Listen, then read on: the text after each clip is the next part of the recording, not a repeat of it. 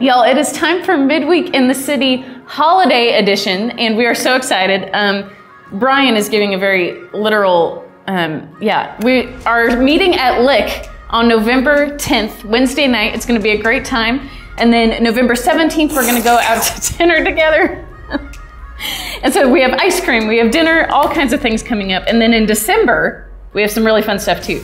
The 8th is Caroling on the River.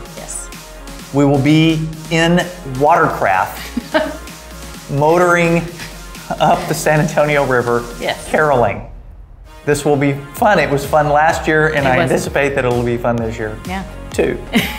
and, then, and then December 15th, we have it, our Christmas party. Yes, the, the annual tradition, the White Elephant Christmas gift exchange. It's going to be great. It's going to be hilarious, but it all starts with Lick, November 10th. Be there, 7 p.m.